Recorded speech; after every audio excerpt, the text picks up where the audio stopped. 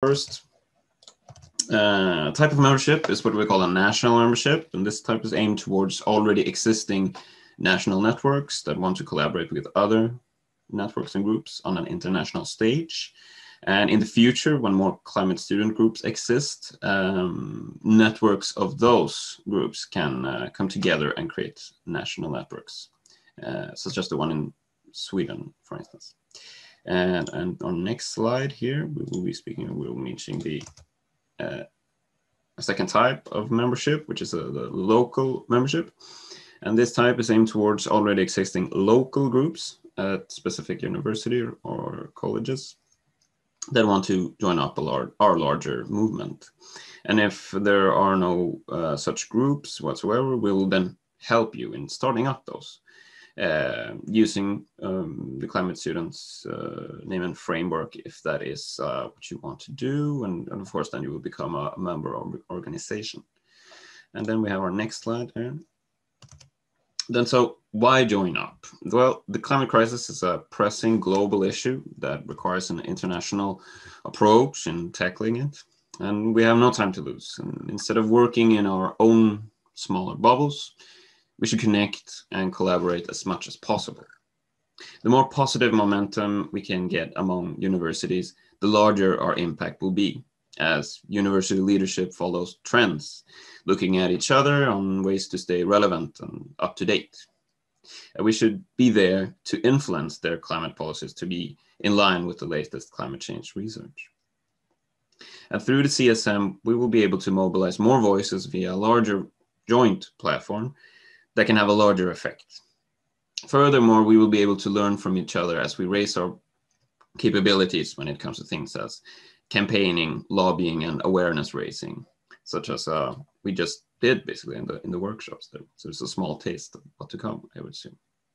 And importantly, we will be able to we will be able to share resources such as the latest research, hard-hitting arguments, and organizational tools.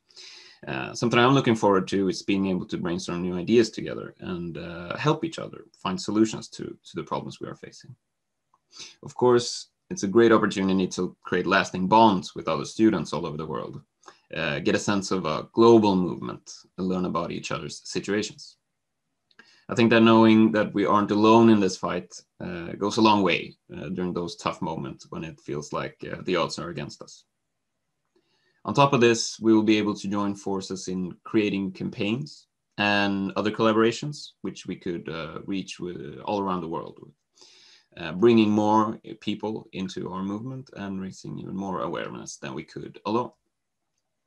Now, Isha will speak about one exciting concrete example on uh, how we could uh, collaborate. Please uh, take it away, Isha. Mm, hi everyone, I'm Isha from Singapore from the Climate Student Movement. Um, so one of the activities we'll be launching is a mentorship program for all our members.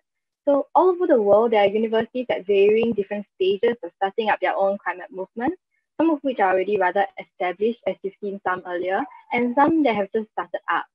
So in this journey, there are many like roadblocks and obstacles, and it is sometimes difficult to navigate the path successfully engage in all the university administrations or to get them to listen or to take the first step.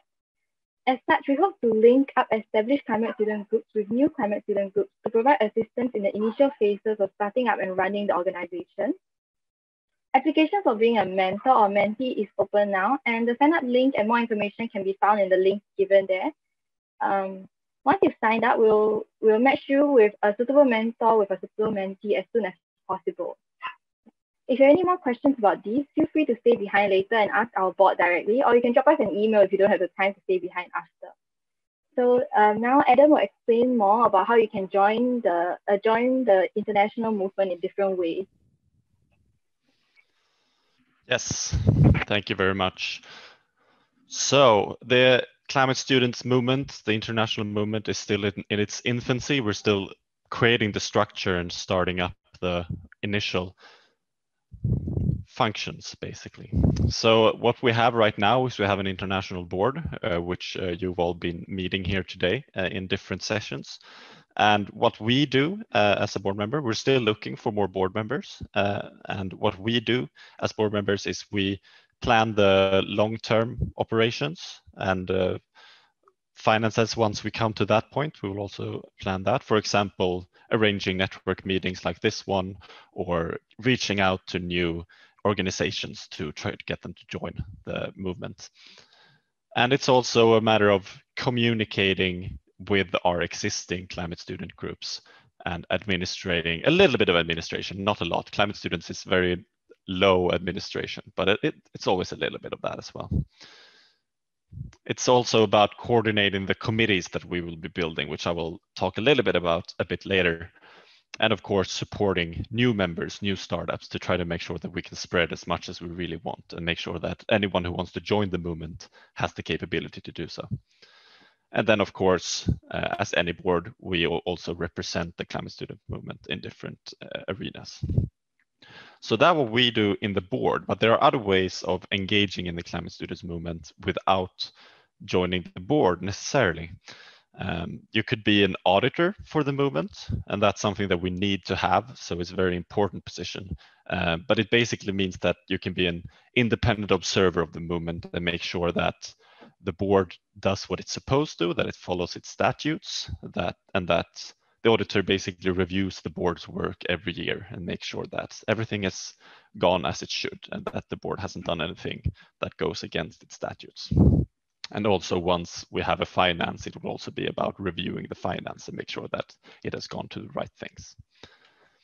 You could also join a committee, and this is something that is uh, new for us and that we really want uh, to get started. Uh, and what this means basically is that, that you can be a more engaged member of the climate students movement without necessarily being in the board. And then you can have a more specialized task.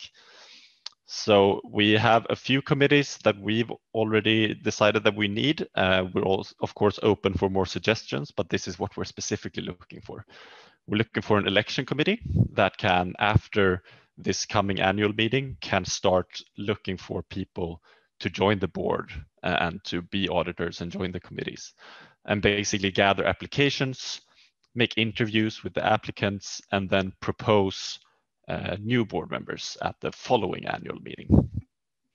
We're also looking at a finance and sponsorships committee. We want to start up being able to gather sponsorships and financial partnerships. So that committee, uh, as in this initial phase, would basically be searching for new financial possibilities and reach out to potential sponsorship partners and start negotiating a little bit.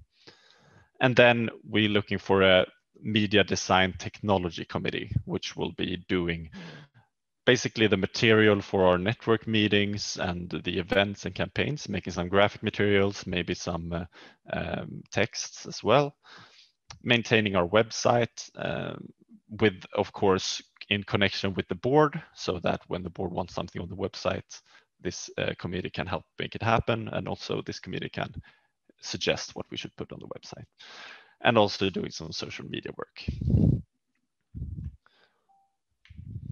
So now that you know how you can join uh, the, the um, climate students movement, what are the upcoming events for the movement? So on November 13th, we have an introduction meeting where we will be introducing all of our new members that we are hoping to get after this meeting. And we'll basically help you with whatever you need help with. So it will be a, a more laid back meeting than this one, a significantly shorter meeting than this one, but it will be a lot about, yeah, getting a connection and getting started really. And then on the 28th of November, we have our annual general meeting, and that's where we will be electing another board member, uh, which we want, and also auditors election committee all of that uh, important stuff that you need to do. And also if there's any statute changes or anything we can also do that then. So write down these uh, these dates if you want to become a member and make sure to register as a member on our website. So with that, uh, I think we're done with the program for today. Uh, we want to thank all of you, of course, for joining us. It's been really great to have all of you here. Uh, we're going to have a little bit of a chat, a bit of a, Q&A with the board after this, but you're free to take a few minutes break. We know it's been intense.